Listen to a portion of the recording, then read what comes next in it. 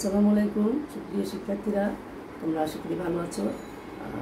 আজকে দশম শ্রেণির শিক্ষার্থীদের জন্য আমি বাংলা প্রথম পত্র উপস্থাপন করব। তোমরা সকলেই মনোযোগ দিয়ে শুনবে এবং ক্লাসটা আশা করি ফলপ্রসূ হবে। এই প্রত্যাশা নিয়ে আজকের ক্লাস শুরু করছি। তাহলে আজকে দশম শ্রেণির শিক্ষার্থীরা তোমাদের এই ক্লাসে সকলকেই স্বাগতম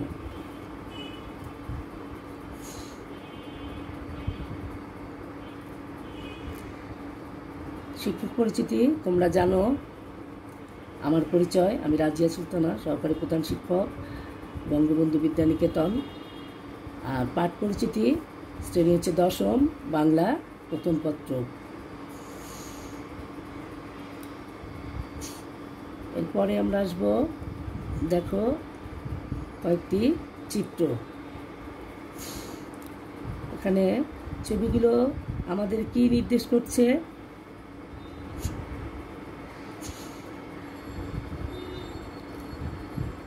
উপরের অংশে আমরা দেখতে পাচ্ছি হাডুডু খেলা হচ্ছে, তারপরে লাঠি খেলা, এরপরে আমরা দেখছি ডাঙ্গুলি খেলা,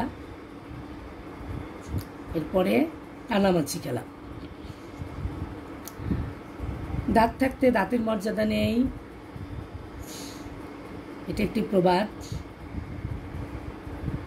কলা রুয়ে না কেটো পাত তাতেই কাপড়, তাতেই ভাত। কনার বচন এই যে হাডুডু খেলা, লাঠি খেলা ডাঙ্গুলি খেলা, কানামাছি খেলা, তোমরা কি এই খেলাগুলো খেলো? এখন তো এই খেলার প্রচলন নেই বললেই চলে।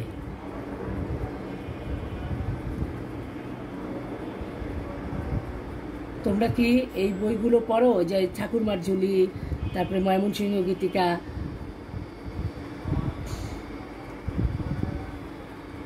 এইগুলো আমাদের পল্লী সাহিত্যের উপাদান। পল্লীর প্রাচীন সম্পদ।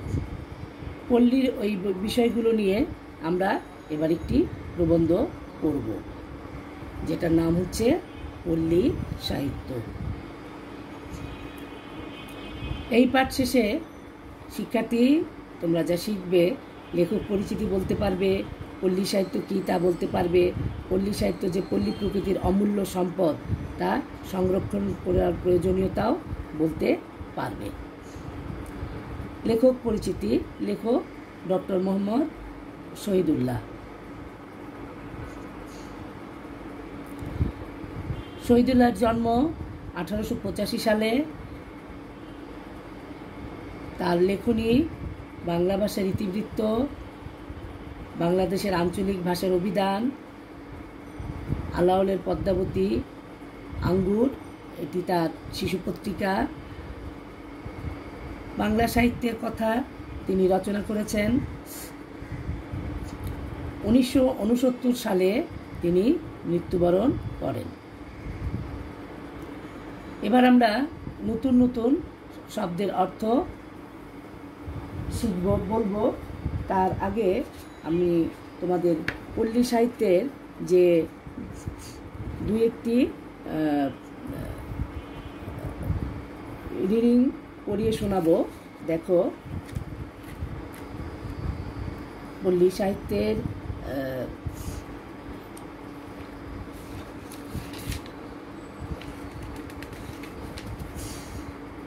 পল্লী পল্লী সাহিত্যের আমরা দু তিনটি লাইন, জাস্ট রিডিংটা তোমাদের আমি একটু পড়িয়ে শোনাবো। তোমরা মনোযোগ দিয়ে দেখো যে পল্লী গ্রামের শহরের মতো গায়ক, বাদক, নর্তক না থাকলেও তার অভাব নেই। চারিদিকে কোকিল, দোয়েল, পাপিয়া, প্রভৃতি পাখির কলগানে নদীর কুলুকুলো ধ্বনি পাতার মর্মর শব্দ, শ্যামল শস্যের ভঙ্গিময় হিলাদুলা প্রচুর পরিমাণে শহরের অভাব এখানে পূর্ণ করে দিচ্ছে। পল্লীর ঘাটে মাঠে, পল্লীর আলো বাতাসে, পল্লীর প্রত্যেক পরতে পরতে সাহিত্য ছড়িয়ে আছে। কিন্তু বাতাসের মধ্যে বাস করে যেমন আমরা ভুলে যাই আমরা ভুলে যাই বায়ুসাগরে আমরা ডুবে আছি, তেমনি পাড়াগায়ে থেকে আমাদের মনেই হয় না যে কত বড় সাহিত্য ও সাহিত্যের উপকরণ ছড়িয়ে আছে। এবার আমরা নতুন শব্দের অর্থ পড়ব। কলগান।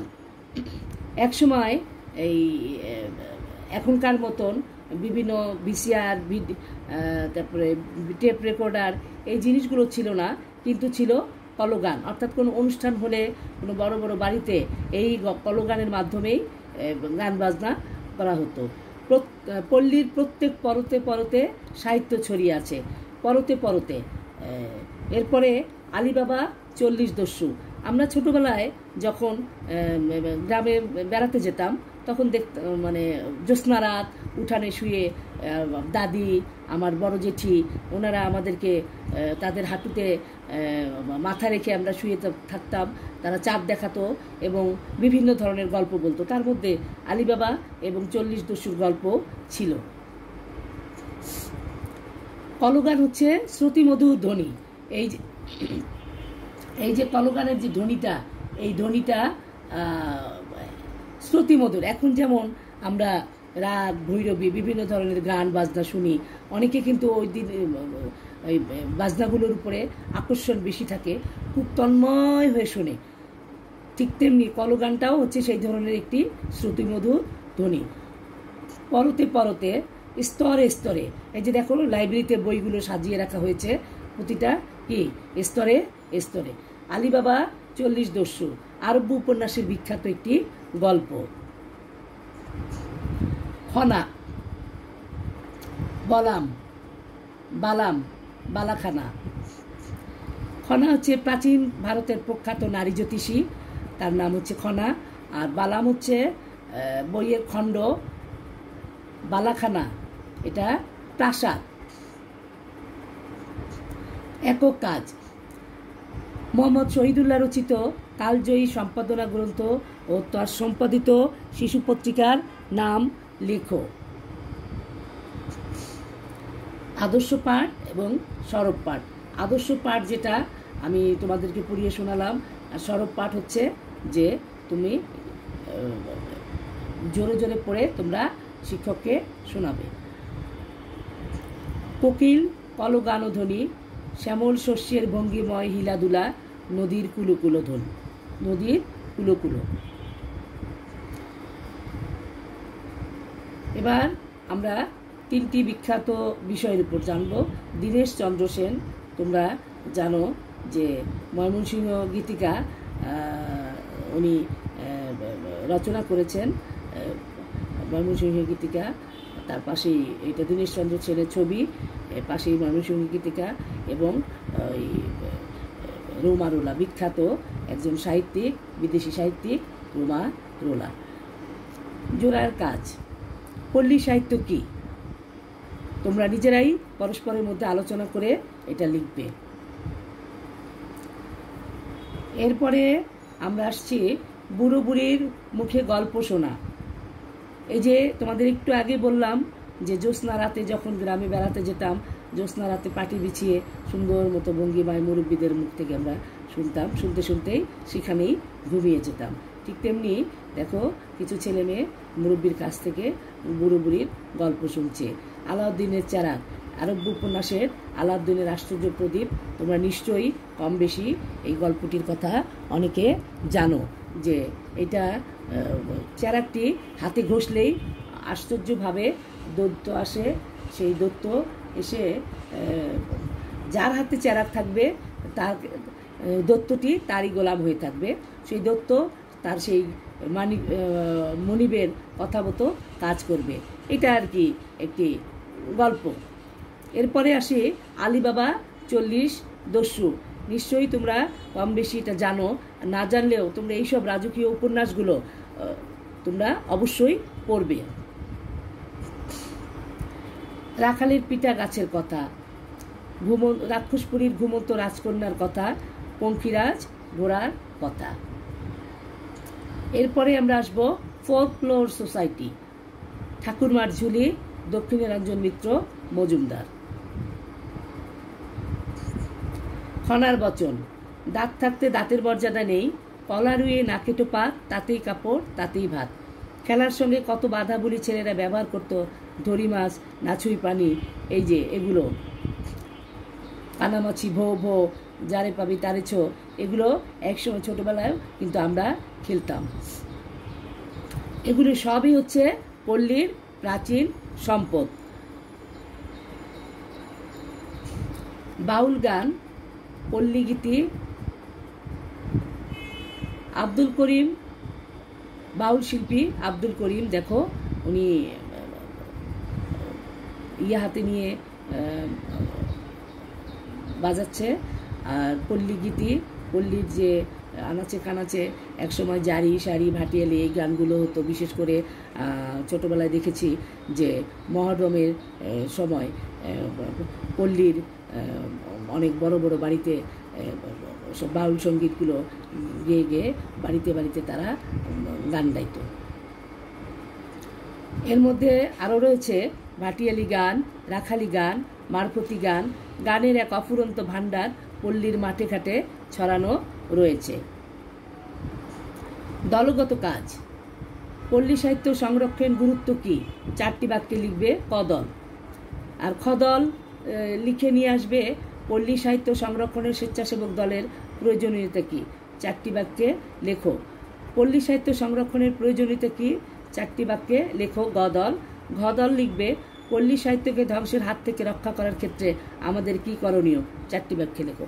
তোমরা দলীয় দলগত কাজগুলো করবে, শ্রেণীকক্ষে যখন তোমাদেরকে দলে, চারটি দলে বিভক্ত করেছিলাম, সেই চারটি দলই সমানভাবেই থাকবে। তোমরা একে অপরের সঙ্গে কথাবার্তা বলে নিয়ে এই কাজগুলো করে নিয়ে করবে। এরপরে আসো মূল্যায়ন। মূল্যায়ন হচ্ছে ঠাকুরমার ঝুলি গ্রন্থটি কে রচনা করেছেন?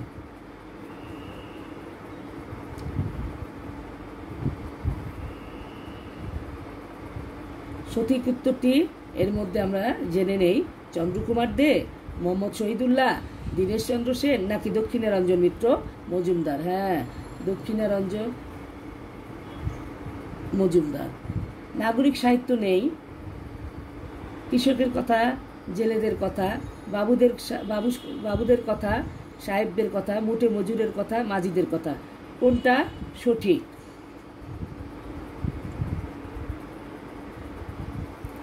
আচ্ছা এরপরে আমরা শেষ পর্যায়ে এসে গেছি।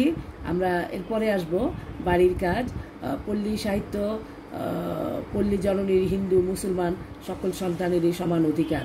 উক্তিটির ব্যাখ্যা করে চারটি বাক্যে খাতায় লিখে নিয়ে আসবে। আসলে একথা ঠিক যে পল্লী সাহিত্য হচ্ছে পল্লী জননী। অর্থাৎ পল্লীটাকে মা হিসেবে আখ্যায়িত করা হয়েছে। এই জননীতে, এই পল্লীতে হিন্দু, মুসলমান সকল খ্রিস্টান, বৌদ্ধ যাই বলো, সকল মুসলমান, মুসলমানদেরকে সন্তান হিসেবে মানে মুসলমান সকল সন্তানদেরকেই সমান অধিকার। অর্থাৎ যে শ্রেণির লোকেই পল্লী সাহিত্যে বা, পল্লীতে বাস করুক না কেন, প্রত্যেকেই পল্লীর সন্তান এবং প্রত্যেকেরই সেখানে সমান অধিকার রয়েছে। এই কথাটা এই উক্তিটি তোমরা ব্যাখ্যা করে চারটি বাক্যে খাতায় লিখে নিয়ে আসবে। তো আজকে আমাদের এই পর্যন্ত শেষ। বাড়ির কাজ অবশ্যই করে নিয়ে আসবে। আর সকলকেই ধন্যবাদ জানিয়ে শেষ করছি। তার আগে তোমাদের একটা কথা বলে দিচ্ছি, যে বাইরে গেলে অবশ্যই মাস্ক ব্যবহার করবে। 30 মিনিট পর পর হাত পরিষ্কার করবে